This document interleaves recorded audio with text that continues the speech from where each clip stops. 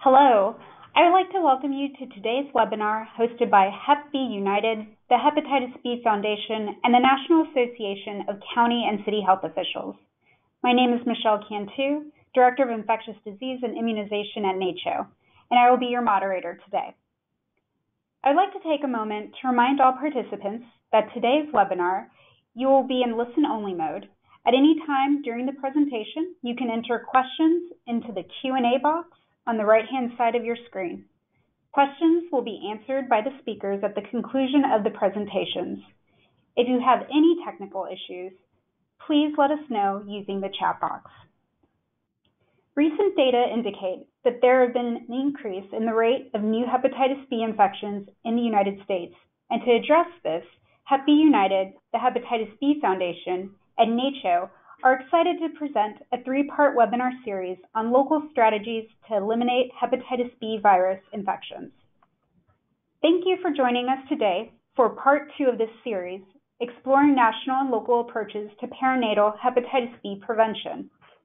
During today's webinar, we will discuss the importance of perinatal hepatitis B prevention and the larger goal and strategy to eliminate hepatitis B, characterize national efforts to address perinatal hepatitis B prevention, and describe a local health department's innovative strategy to increase the identification of infants born to chronic hepatitis B infected mothers. Before we get started, we'd like to gather information about participants that have joined the webinar. So for our first poll question, which of the following best describes your primary or main job title? Is it perinatal hepatitis B coordinator, disease intervention specialist, nurse, epidemiologist, or other? We'll give everybody just a second to respond.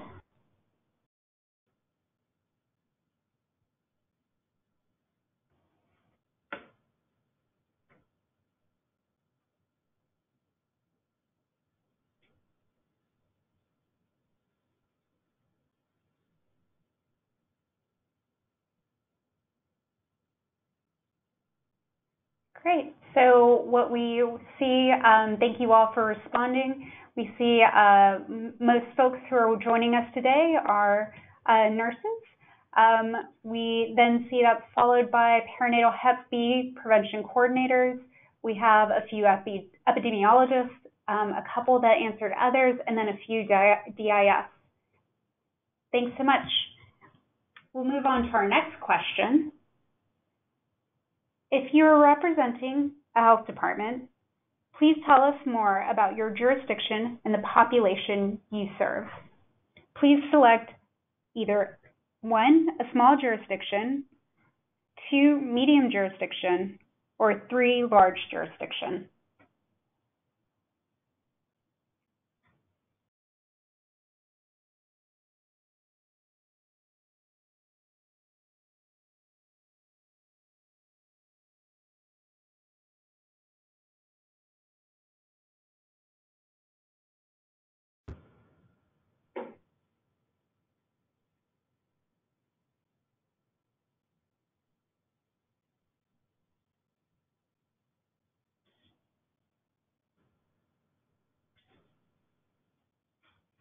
Okay, we see about 50% of you are serving a large jurisdiction, about 200,000 or more, uh, followed by medium jurisdiction and then small jurisdiction. Great, so moving on to our final poll question. How would you describe your community? Rural, suburban, or urban?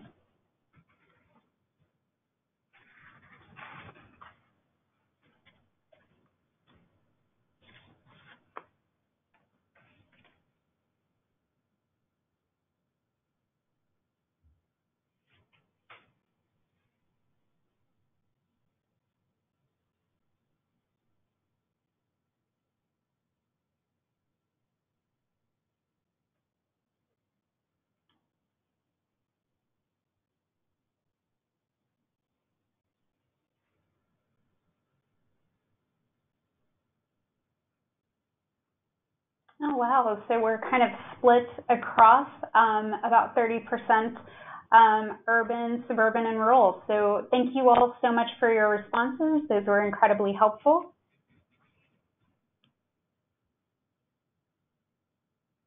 Now moving on to the next slide. NACCHO, Hep B United, and the Hepatitis B Foundation are national organizations that work with their stakeholders toward the prevention and elimination of hepatitis B. NACCHO is comprised of nearly 3,000 local health departments across the United States. Our mission is to serve as a leader, partner, catalyst, and voice with local health departments. Local health departments play a key role in moving our nation closer to the goal of eliminating hepatitis B as a public health threat.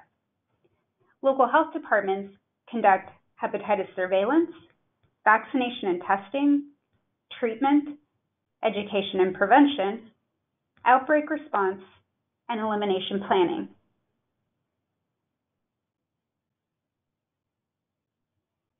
We are pleased to collaborate with our partners at Hep B United and Hepatitis B Foundation to assist in building local health departments' capacity to prevent and eliminate hepatitis B. And now I'll pass it over from, for a word from our webinar co-host at Hepatitis B United, Sierra Pelecchio. Hello, everyone. My name is Sierra. I work for the Hepatitis B Foundation. The Hepatitis B Foundation leads Hep B United, which is a national network of coalitions with over 40 local and national organizations in 20 states. HBU's mission is to reduce the health disparities associated with hepatitis B by increasing awareness, screening, vaccination, and linkage to care for high risk communities across the U.S. We're very excited to have teamed up with NACCHO to bring you this webinar today.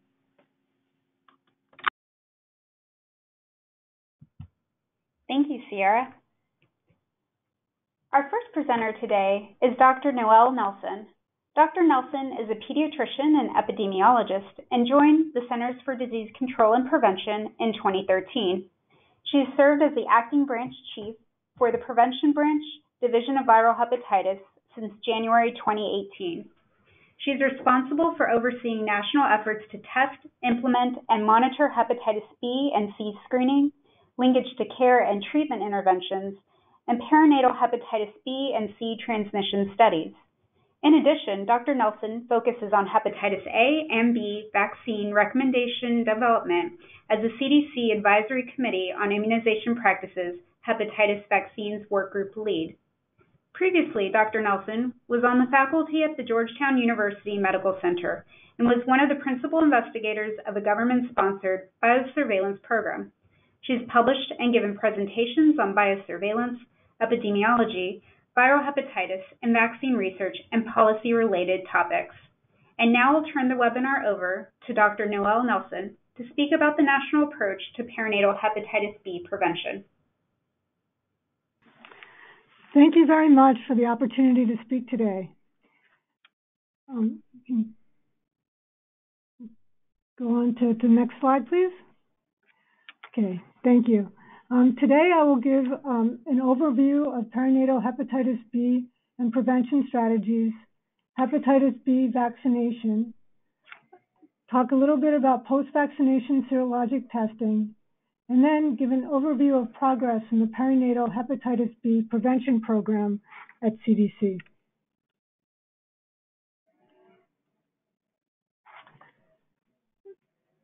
Hepatitis B virus transmission occurs through percutaneous or mucosal exposure to infectious blood or body fluids. About 80 to 90% of infants who are infected with hepatitis B virus become chronically infected. And about 25% of the individuals who are chronically infected will develop cirrhosis or liver cancer and die prematurely. HBV infected infants are usually asymptomatic, so undiagnosed infection might not be diagnosed until disease um, has progressed. Next slide, please.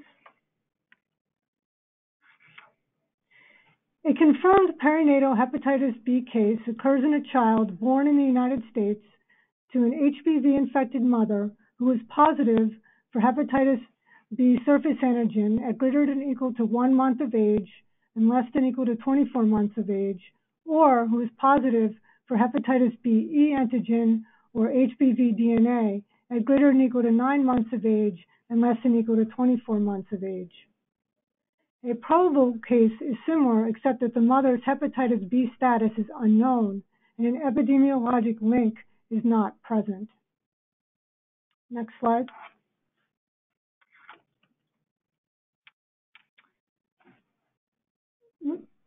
Steps to prevent perinatal transmission of hepatitis B virus um, are as follows. Maternal screening.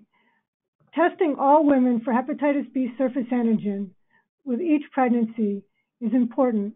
This provides an opportunity to link the mother to care as well as provides an opportunity for prevention of mother to child transmission. The American Association for the Study of Liver Diseases suggests antiviral therapy to reduce perinatal HBV transmission when maternal HBV DNA levels are greater than, than 200,000 international units per milliliter. Infant vaccination is also critical. All infants born to hepatitis B surface antigen positive women need to receive um, both hepatitis B vaccine along with passive immunoprophylaxis or hepatitis B immunoglobulin within 12 hours of birth. In addition, they must complete the hepatitis B vaccine series. Then, post-vaccination serologic testing uh, is key in order to confirm um, whether the infant is infected or not, and also uh, for response to vaccine. Next slide, please. Recently, the Joint Commission required that organizations provide, that provide obstetric services document certain diseases in the mother's medical record, such as hepatitis B. To test and document if the mother's status is not known, and if the mother tests positive, the information must be documented in the newborn's medical record. These requirements reinforce and strengthen the need for hospital staff to check for hepatitis B maternal lab results, which may lead to increased linkage to care and management for the mother and infant. Next slide. And the next slide. So now I will talk a bit about hepatitis B vaccine and the recommendations. Hepatitis B vaccine was introduced in 1982. It is considered safe, immunogenic, and effective. It is administered as a three or four dose series starting at birth. Four doses occur when the infant receives a combination vaccine. The primary three-dose series efficacy is at 90 or 95 percent, a very uh, efficacious vaccine. The hepatitis B vaccine induces antibody to hepatitis B surface antigen, which is measured, um, which is considered protective at an antibody concentration of greater than or equal to 10 milli-international units per milliliter after a complete vaccine series. A study that was performed among children vaccinated 30 years ago estimated that greater than 90% of the persons who participated in this study still had evidence um, of protection. So hepatitis B vaccine is considered to provide almost lifelong immunity. Booster doses are not routinely recommended. Next slide, please. Hepatitis B immunoglobulin, along with hepatitis B vaccine, provides the greatest uh, efficacy and the best chance for prevention of perinatal transmission. Hepatitis B immunoglobulin provides a short-term increase for about three to four months in the antibody to hepatitis B surface antigen which might improve protection until the infant responds to vaccine. For prevention of mother to child transmission of hepatitis B, the efficacy of HBIG and hepatitis B vaccine combined is about 94%, while the efficacy of HBIG alone is about 71%, and the efficacy of hepatitis B vaccine alone is about 75%. These estimates are based on studies among infants of mothers who were infected with hepatitis B and hepatitis B e antigen positive, meaning that they likely um, had a high viral load, but also an increased um, chance of transmission. So post-exposure prophylaxis with vaccine and is critical to preventing mother-to-child transmission. Next slide.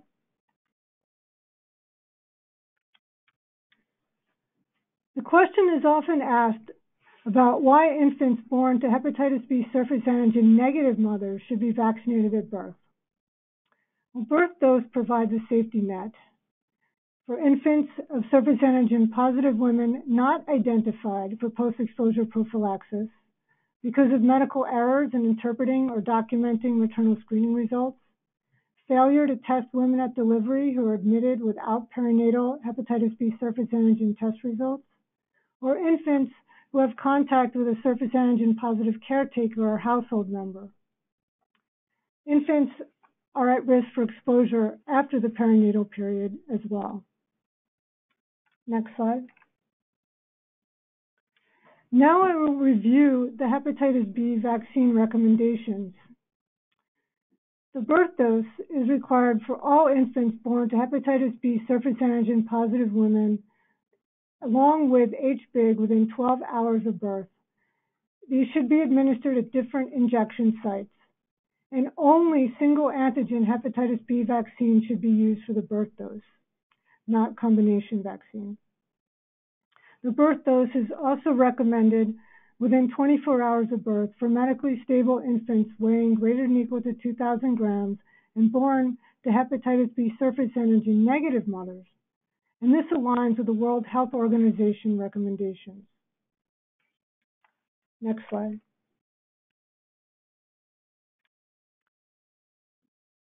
All infants born to known surface antigen positive women at all birth weights should receive HBIG and monovalent hepatitis B vaccine within 12 hours of birth. This should be documented at the date and time of administration, and then the infant should receive timely completion of greater than equal to three doses of hepatitis B vaccine, either monovalent or combination vaccine after the birth dose. Next slide. The next slide is our first question. For infants with birth weight less than 2,000 grams, born to mothers with unknown hepatitis B surface antigen status, what post-exposure prophylaxis should the infant receive within 12 hours of birth? A. Hepatitis B vaccine alone. B. HBIG alone. C. HBIG plus hepatitis B vaccine. Or D. None of the above.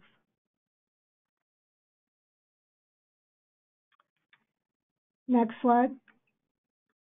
The answer is H C. HBIG plus hepatitis B vaccine. Next slide, please. So for infants born when the paternal hepatitis B surface antigen status is unknown and they have low birth weight of less than 2,000 grams, the mother should be tested as soon as possible, results documented, and communicated to the mother and her provider. Both hepatitis B immunoglobulin and monovalent hepatitis B vaccine should be administered within 12 hours of birth to the infant in separate injection sites. For infants weighing less than 2,000 grams, the birth dose is not counted toward a greater than equal to, dose, to three dose hepatitis B vaccine series. Next slide. The maternal, if maternal um, surface antigen status is, is unknown and the infant birth weight is greater than or equal to 2,000 grams, the mother should also be tested as soon as possible. And only hepatitis B vaccine should be administered within 12 hours of birth to the infant. This should occur without waiting for the mother's results. If the infant is discharged before the results are known, the mother should be informed of the, of the of her status. The pediatric provider should also be informed, and the perinatal hepatitis B prevention coordinator should also be informed. If results are positive or remain unknown, each BIG should then be administered to the infant within seven days of life.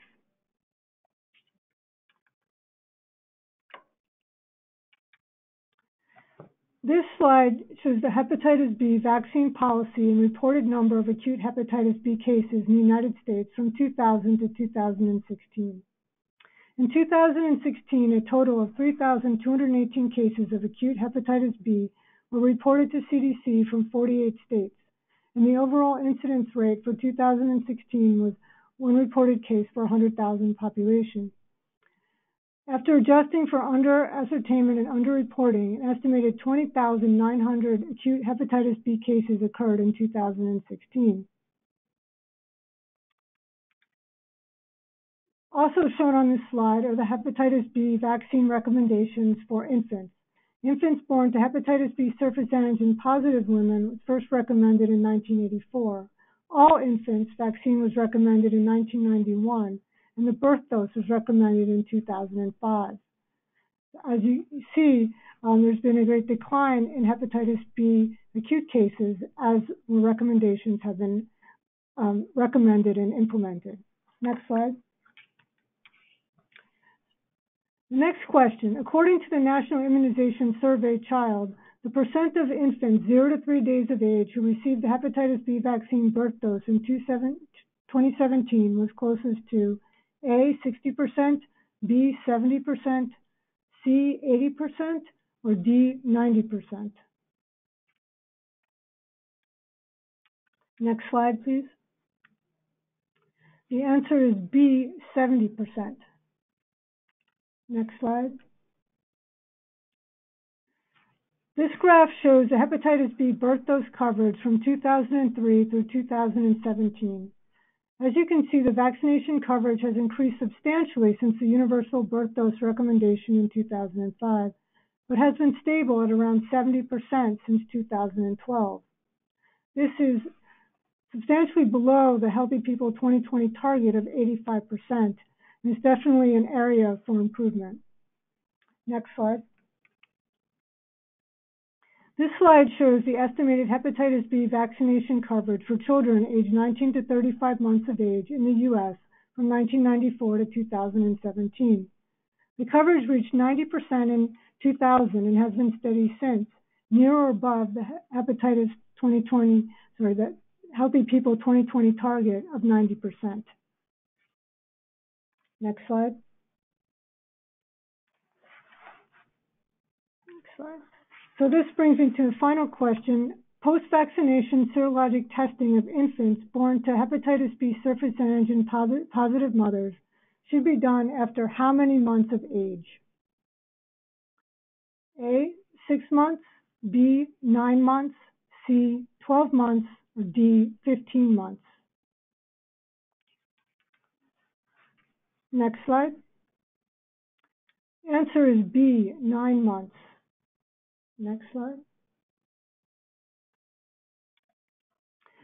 Infants born to hepatitis B infected mothers should undergo post-vaccination serologic testing after completion of the hepatitis B vaccine series in order to identify infected infants so that they can receive um, proper management and infants not responding to vaccination so they can be revaccinated. Post-vaccination serologic testing should occur at 9 to 12 months of age if the vaccine series is completed on schedule. Testing should occur one to two months after the final dose of vaccine in the series if the series completion is delayed. And testing for both hepatitis B surface antigen and the antibody to hepatitis B surface antigen are both required for post-vaccination serologic testing infants should not be tested for hepatitis B core antigen. And testing should never occur before nine months of age. Next slide. Why is this the case? Earlier testing than nine months may detect the antibody to hepatitis B surface antigen from the hepatitis B immunoglobulin administered at birth and not vaccination outcome. Also, testing at nine months of age maximizes the likelihood of detecting late hepatitis B viral infection. So now I will talk about the perinatal hepatitis B prevention program. It was established in 1990 and is CDC funded by the Immunization Cooperative Agreements, Section 317 funding. There are programs in 64 jurisdictions, including 50 states, 6 cities, 5 territories, and 3 freely associated island nations. The goals of the perinatal hepatitis B prevention program are identification of all hepatitis B infected pregnant women, timely receipt of infant prophylaxis, vaccine plus HBIG, infant post-vaccination testing after completion of the hepatitis B vaccine series, and revaccination of infants with non-response to hepatitis B vaccine. Next slide. In 2016, 32 cases of perinatal hepatitis B were reported to CDC from 13 states. And as you can see, going back to 2012, there have been less than 50 cases um, reported from these states. However, a 2009 modeling study estimated that 952 chronic hepatitis B cases occur each year among persons in, infected at birth, for a baseline annual rate of 3.84% among infants of surface antigen positive women. This model employed estimates of the annual number of births of surface antigen positive pregnant women, data from the perinatal hepatitis B prevention program, and the national immunization surveys as well as published literature. The reported cases to CDC are likely lower than the modeled numbers because infants were exclu excluded who did not receive PEP, did not receive post-vaccination serologic testing, or the testing wasn't reported, or infants who were case managed outside of the perinatal hepatitis B prevention program. Next slide. A key component of perinatal prevention is identifying births to hepatitis B viral infected women. This slide shows the identified births to surface antigen positive women compared to total expected births to surface antigen positive women from 2008 to 2014. The total expected births were about 25,000 during this time period per year, whereas approximately 50% of the total annual births to surface antigen positive women in the United States were case managed by the perinatal hepatitis B prevention program. Until 2014, estimates were generated using a model based on natality data from the National Center for Health Statistics and surface antigen seroprevalence by race and ethnicity. Next slide. The methodology for determining the expected births to surface antigen positive women changed in 2015 to include maternal child birth from all U.S. states and D.C. in an attempt to address evolving surface antigen prevalence worldwide. The greatest number of births to surface antigen positive women still comes from surface antigen positive women born outside the U.S. This model estimated about 5,600 fewer births to surface antigen positive women than did the previous model. In 2015, an estimated 20,628 infants were born to surface antigen positive women in the United States. Next slide, please. This slide shows the national trends in the perinatal hepatitis B prevention program indicators from 2008 to 2016. The top or blue line shows the percent of infants received hepatitis B immunoglobulin and the birth dose within one calendar day of birth. And this shows that we're doing quite quite well, um, over 95 percent or above throughout. There's a little room for for improvement. However, looking at um, infants who received HBIG and the series by 12 months, I'm not doing as well um, in the 80 um, 80%. And these are of course, to remind everyone, um, infants that are followed by the prevention program. And then looking at um, post-vaccination serologic testing um, down in the in the 60 percentile uh, for infants that receive uh, post-vaccination serologic testing. And this is of concern because that means that infants born to um, the outcome of um, post-exposure prophylaxis is not known uh, or the status is not known for infants born to hepatitis B surface antigen uh, women for those who are not tested.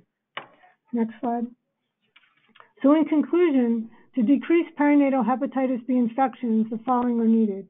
Increased identification of surface antigen positive pregnant women, which allows for maternal management and maternal third trimester antivirals if indicated, timely infant prophylaxis and infant management, increased hepatitis B birth dose coverage overall, and increased post-vaccination serologic testing of infants born to surface antigen positive mothers. Next slide. The next few slides show some, some resources um, that are available on the CDC website or, or other um, for your information. And that con concludes my presentation. Thank you. Thanks so much for that informative presentation, Dr. Nelson. Um, and before we go on to our next speaker, we just wanted to conduct another brief uh, audience poll. Um, so how many perinatal hepatitis B cases did you manage last year in 2018? Was it less than 50, 50 to 100, 100 to 200, or 200 or more?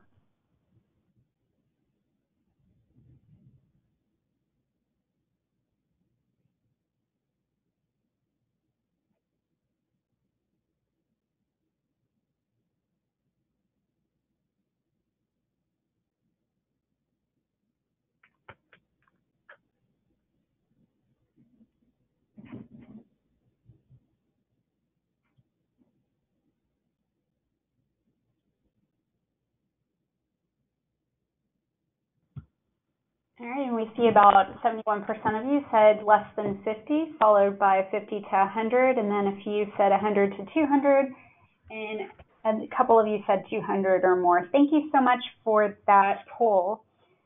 And now we'll move on to our second presenter, um, Mrs. Essie Havor, who will discuss Houston Health Department's strategy to increase the identification of infants born to chronic hepatitis B infected mothers. Ms. Havor is a very passionate immunization advocate and a board-certified advanced public health nurse with more than a decade nursing experience across multiple public health and nursing specialties.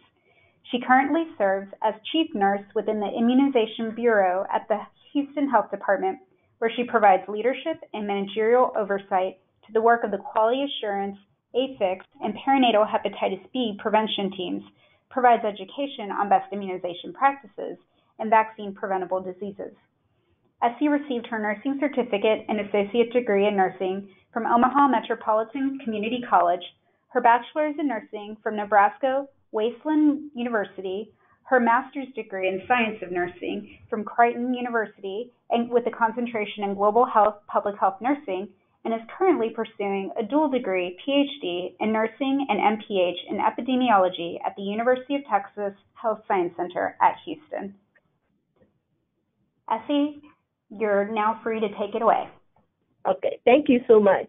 Um, my name is Essie Havor, and I have been tasked to share with uh, the audience what we have done in the city of Houston to increase uh, identification of uh, infant born to hepatitis B positive mother. Next slide. So the learning objective, uh, my goal is to share with you uh, what we have done in the city of Houston to overcome the challenges of uh, identifying hepatitis B positive mother and their infant, and also share with you promising practices that can help you to increase uh, identification of uh, these women and their infant. And finally, some of the lessons learned that we learned from this process. Next slide, please. So what I want to do is just to give you a quick overview of uh, the perinatal Hep B program, and Dr. Nelson did a really good job to give you, um, you know, a better understanding of what it is. So uh, CDC estimates that about used to be 25,000 infants are born to Hep B mothers uh, every year, and 10,000 of these infants usually without uh, timely post-exposure prophylaxis, which is uh, uh giving HBIG within 12 hours, in addition to hepatitis B vaccines within 12 hours, 10,000 of these infants will become chronically infected. And uh, roughly about 2,000 or 2,500 of them will die of liver failure or liver cancer before the age of 10. And he also, in the literature, we find out that about 1,000 of them uh, have been infected annually. We have not received uh, uh any new number of these. But I will tell you that the Healthy People 2020 target is actually 400 cases, and the baseline used in 2007 was 799. So the question is, what can we do to make sure that we identify these thousand infants and make sure know their characteristics, where they are coming from, who are the mothers, how did we miss this? So I think this is something we need to work on. Next slide, please. So quickly, I want to share with you what uh, the, some of the policy in the state of Texas, uh, the hepatitis B surveillance. So in our laws, acute hepatitis B virus is reported uh, within a week, and the chronic hepatitis B is not reportable except when the mother or the woman is pregnant. It has to be reported within a week, and then if it's an infant less than 24 months, it has to be reported with the, within one working day. And that's uh, for me personally is problematic. Uh, and also, the last thing I want to share on that is uh, not all the hospitals in the state of Texas, particularly in our city of Houston, report uh, these positive labs electronically. And I will talk about some of the challenges toward my the end of my presentation. So this graph is an overview of our program or some of the responsibility that has been assigned to us. And what I'm going to talk about in my presentation actually falls under conduct active surveillance quality assurance. That's the piece that I want to focus on and the reason why we implemented this project. Next slide.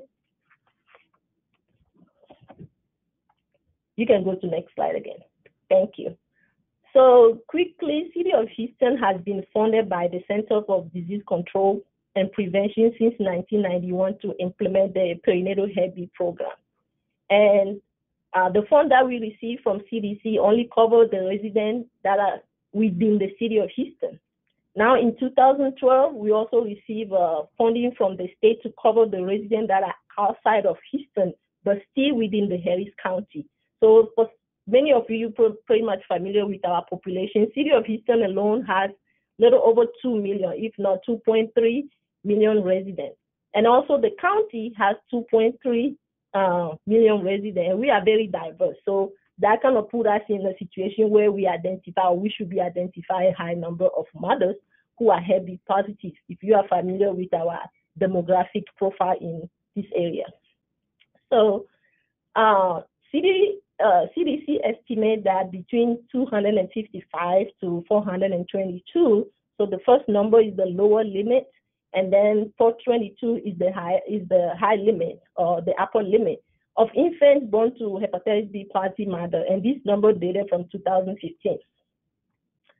And the goal of the program is actually to identify at least 90% of these infants, right? So in the city of Houston, when I took over this position in 2014, we were not identifying the number of the estimate.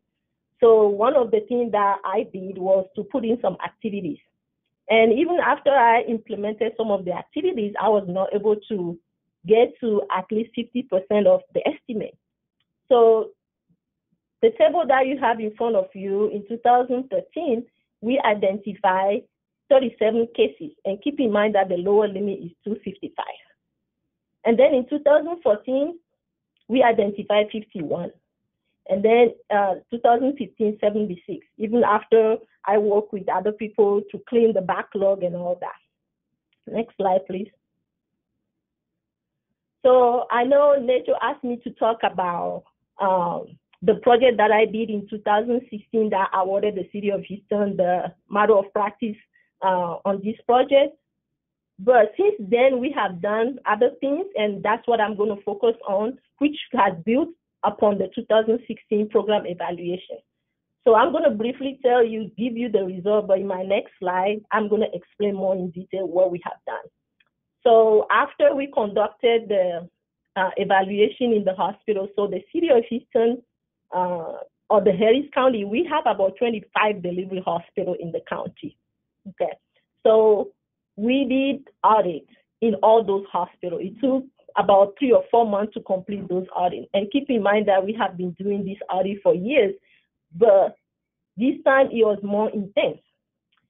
And once we gather all the report, we find out that four out of 10 infants in 2014 and 2015 were not reported, and that's what the graph is showing. So pretty much, uh, we have 184 uh, mothers that we identified during the audit from all the 25 hospitals uh, that were HBsAg positive, and then 71 of them in 2014 were not reported, and then in 2015, 194 were uh, delivered babies in this hospital, but 82 of them were not reported, and that's very concerning.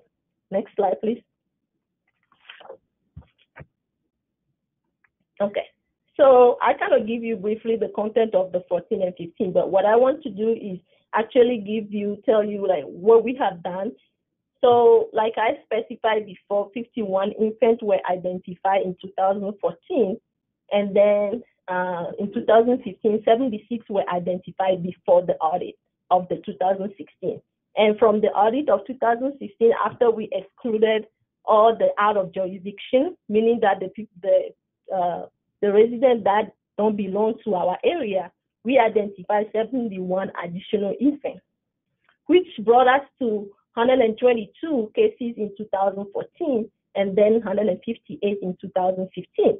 Keep in mind, I'm talking about City of Houston, but we are not the only program that has this problem because in the U.S., uh, all the program combined right now, we identify roughly about 12,000, but the estimate is between 21,000 to 25,000 as Dr. Nelson just presented.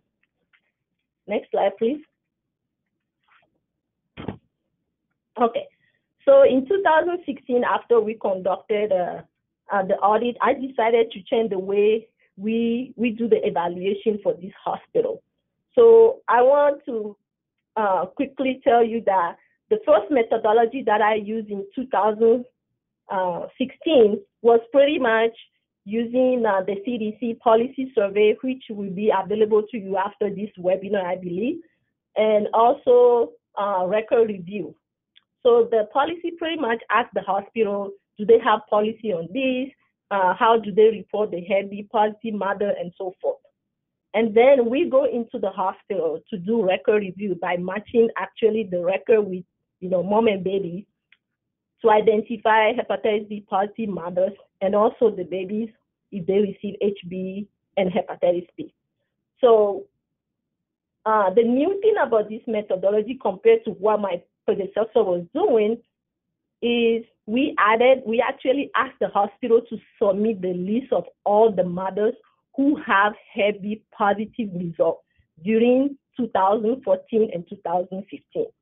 And then we asked for the negative one too, which we use to actually assess uh, the birth, the hepatitis B birth dose, and um, and also the uh, the documentation. So in 2000, in 2018, what I want to focus on is the 2018, what is new about that 2018 methodology, which we just completed sometime in September of last year. So in 2018, we have 25 delivery hospitals. By the way, one new one came aboard, so that's how we got 25.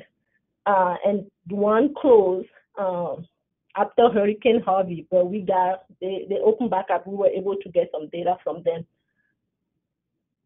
So we for the 2018, we did a 2016 record review and 2017. This is labor intensive, I'm going to warn you. And the reason why I don't like to do it every year because I don't have many staff in the Hep program to be able to conduct this. So I like to go in and do two years in a row. And that's what we did. So the new thing about the 2018 actually was additionally we added pharmacy logs. So we requested the hospital to submit the pharmacy logs. And this was very interesting. Next slide, please.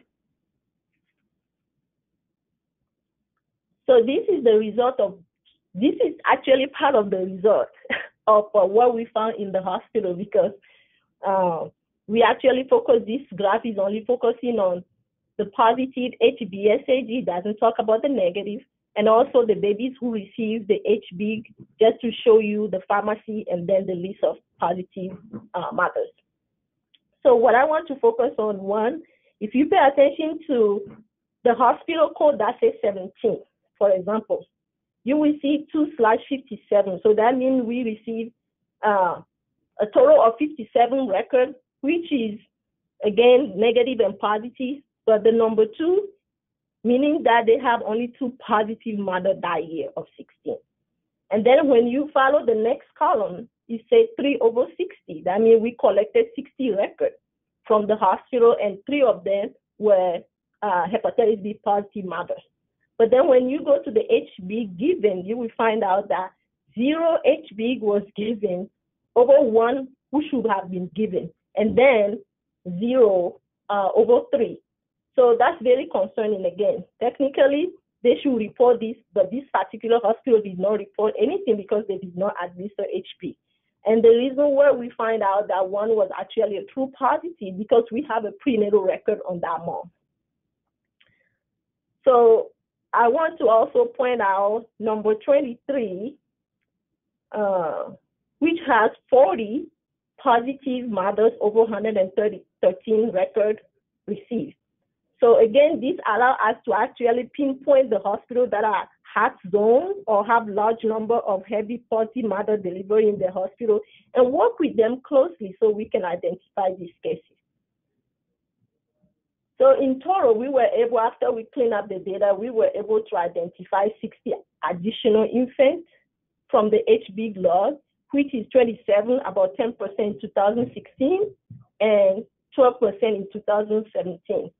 And comparing the underreporting rate with the previous year, we can say that at least it has decreased. So that means whatever we did in 16 worked uh, because it helped us to have continuous collaboration and communication with the hospital.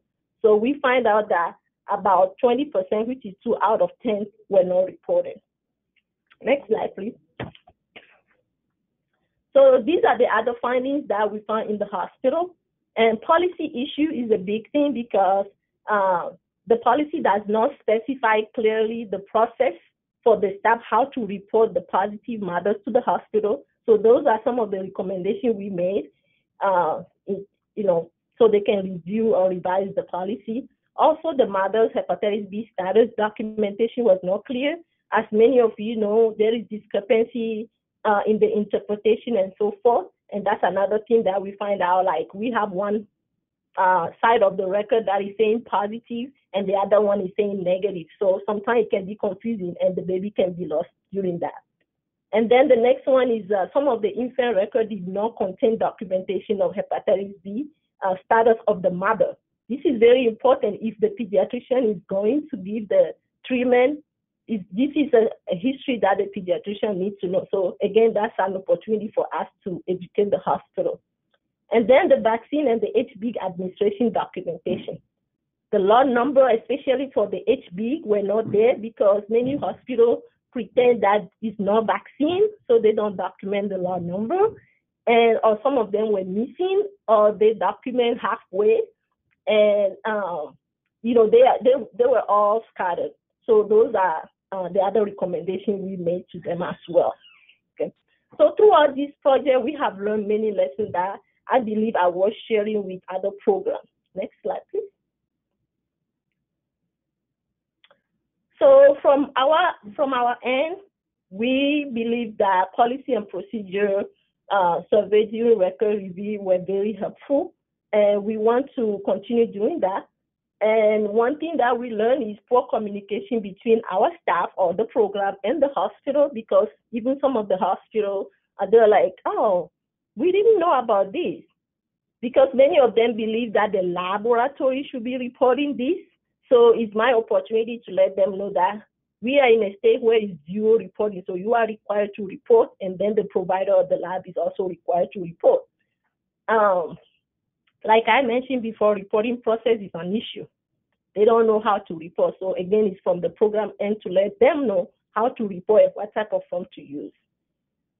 The pregnancy status is not force field, and they don't know how that happens. So that was an opportunity for us to actually contact the lab and also explore how that is done.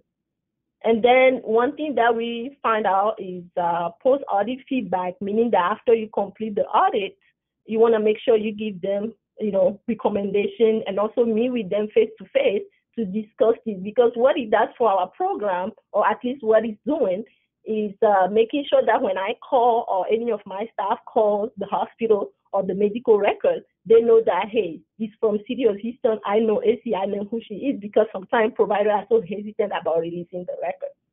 And some of the feedback that we got from the hospital, or what we learned from the hospital, I just shared that with you. The poor quality in data reported by the hospital because it was amazing that in the age of EMR, it is unbelievable how they pull the report. And then the laboratory report versus uh, the L&D because they also keep a log in the L&D and we were actually asking them to contact the lab and pull this report for us, which was actually difficult for them. And the pharmacy log versus the nursery log and the EMR data did not match.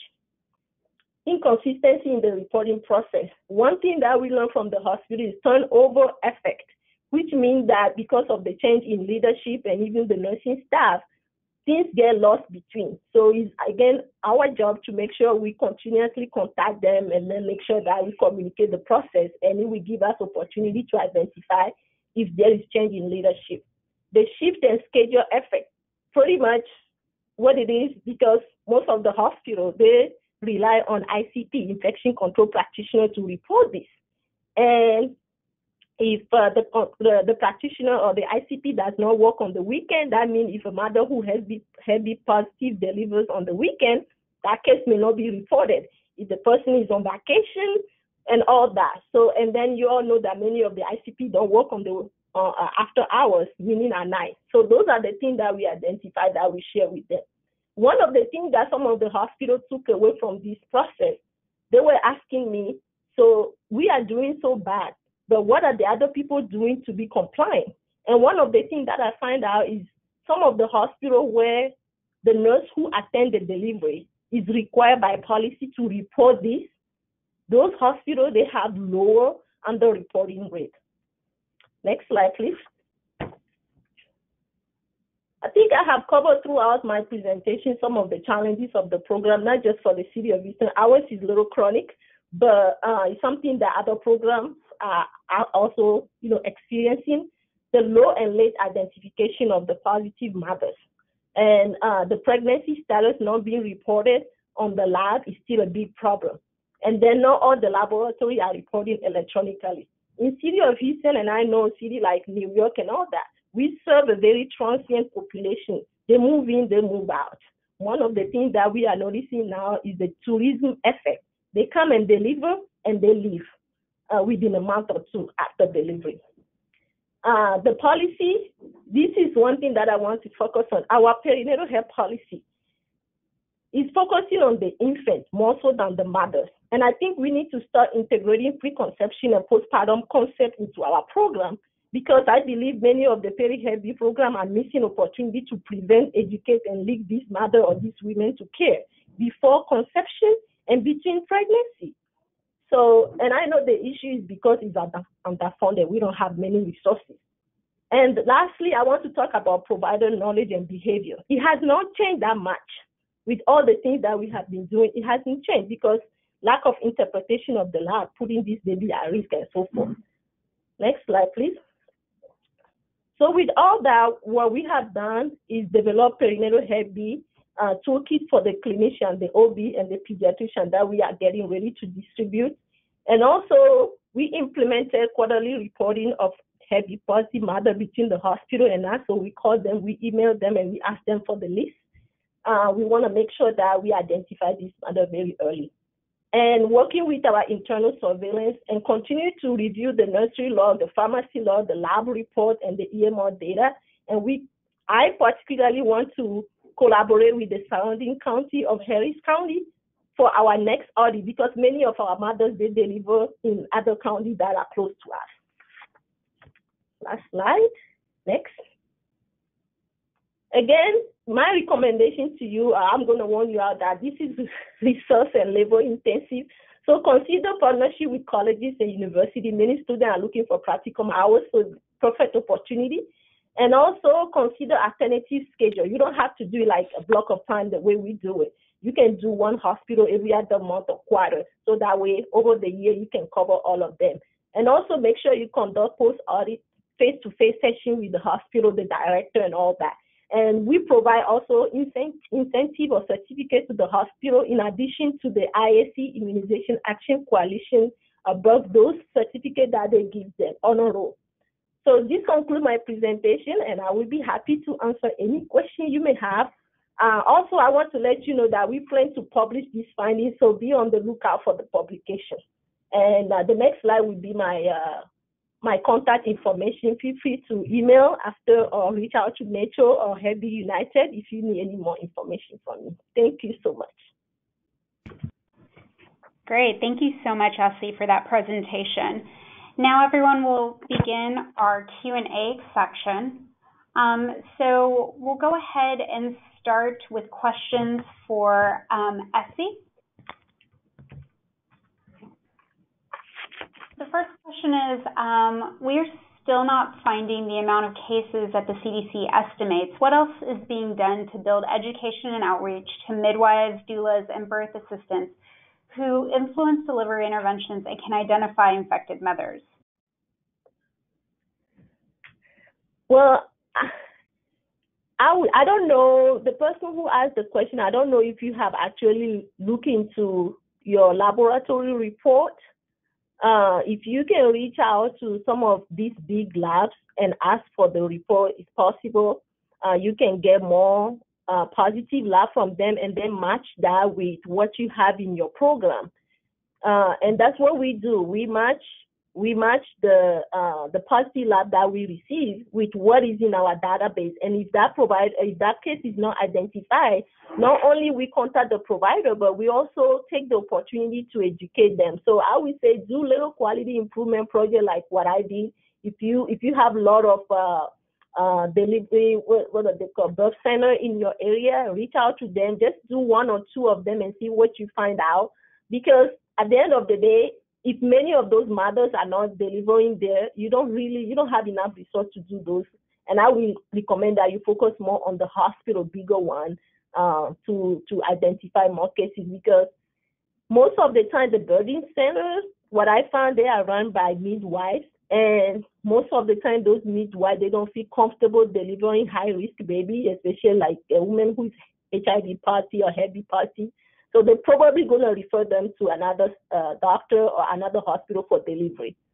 So that's what I find out. I hope that helps. Otherwise, email me or we can talk offline and I can make some suggestions. Thank you. The next question is for Dr. Nelson. We've had a couple moms enrolled in the Prevention Hepatitis B oh, sorry, perinatal hepatitis B prevention program where they were a hepatitis B surface antigen positive for two pregnancies and then hepatitis B surface antigen negative on their third pregnancy. Should these infants still get HBIG and enrolled for services?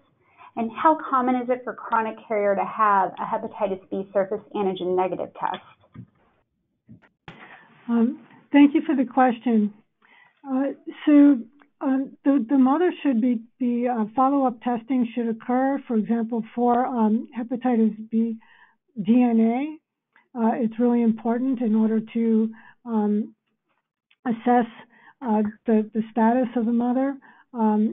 She, it is possible that a woman could have acute infection that, that is cleared, but with two pregnancies positive, it's less likely for and to be um, negative on a, on a, third pregnancy. Um, we usually uh, err on the side, uh, recommend erring on the side of caution and providing prophylaxis to, to the infant if the if the mother's status is, is unclear from either discrepant lab results uh, or uh, unknown status within that first uh, seven days. So I think that that's definitely a, a question that um, probably should be discussed on a, on a case-by-case basis. And you can always reach out um, to uh, Nancy Fenlon, uh, the team lead for the perinatal hepatitis B prevention program, um, or to myself in the Division of Viral Hepatitis um, for further assistance with, um, with questions such as those. Great. Thank you, Dr. Nelson. Now, the next question is again for Dr. Nelson. Does the CDC have any data about home births and deliveries at birth centers outside of hospitals for pregnant people with hepatitis B? Uh, we have limited data um, on on home births, um, so I I can't point you right now to uh, to a reference, but uh, I can certainly uh, get get back to you on that question. Thank you. This last question is for Essie.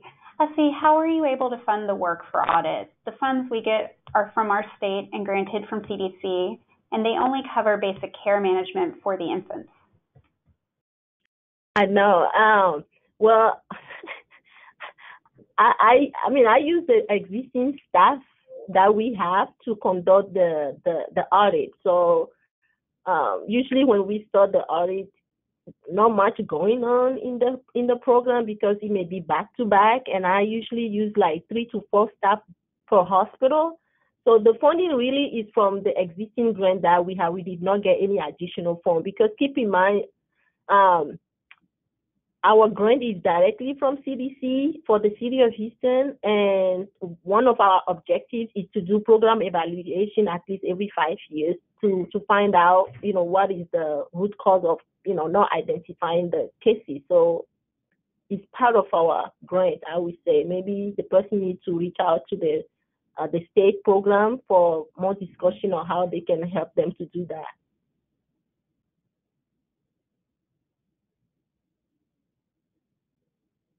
Hello?